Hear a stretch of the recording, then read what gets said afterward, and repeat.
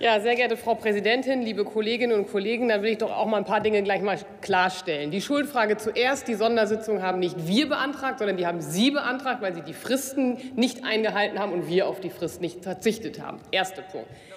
Zweiter Punkt. Zweiter Punkt.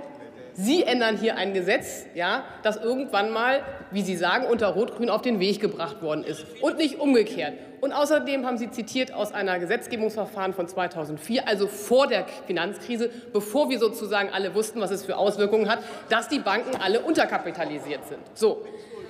Also, dieses Gesetzgebungsverfahren ist tatsächlich in der Tat ein Musterbeispiel dafür, wie sich die Interessen der Finanzindustrie hier bahnbrechen.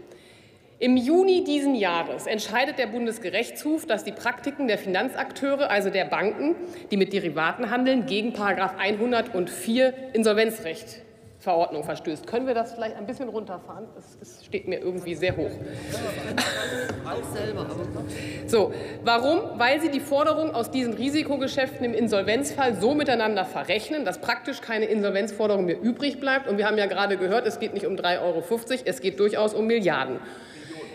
Nach diesem BGH-Urteil sofort, also quasi über Nacht, legt die Bundesregierung einen Entwurf zur Änderung der Rechtslage vor, damit die Banken weitermachen können wie bisher und erweitert die Norm sogar noch darüber hinaus.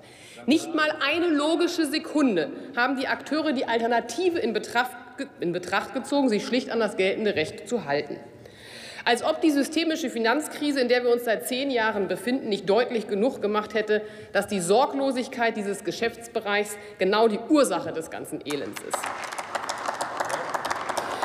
In der Gesetzesbegründung steht dann auch noch ganz schamlos drin, dass es genau darum geht, nämlich den Großbanken zu ersparen, ihre Eigenkapitalquote zu erhöhen, was sie tun müssten, wenn das Insolvenzrisiko realistisch abgebildet würde.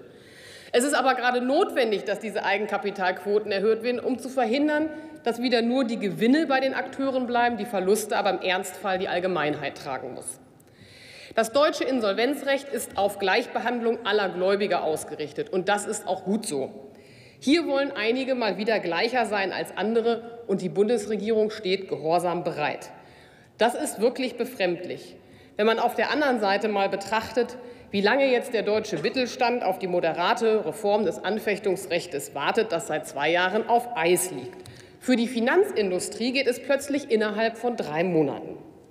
Und angeblich sollte ja aus beiden Gesetzen jetzt ein Paket geschnürt werden. Ja, aber warum steht jetzt doch wieder nur das Interesse der Finanzer auf der Tagesordnung und nicht das des Mittelstandes?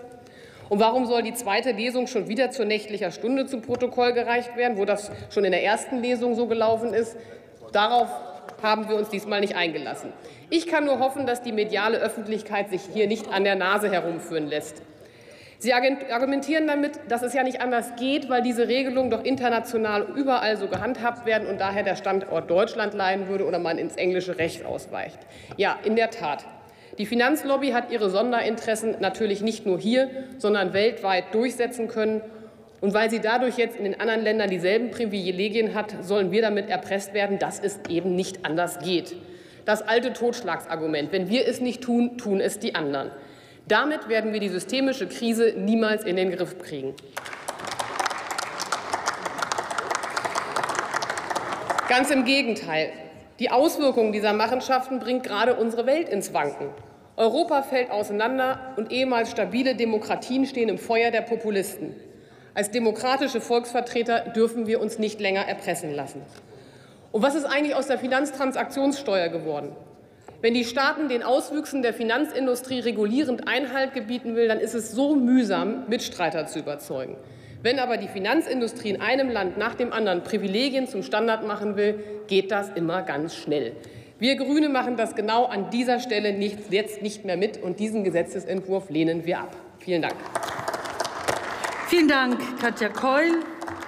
Und der letzte Redner in der Debatte, Alexander Hoffmann für die CDU-CSU-Fraktion.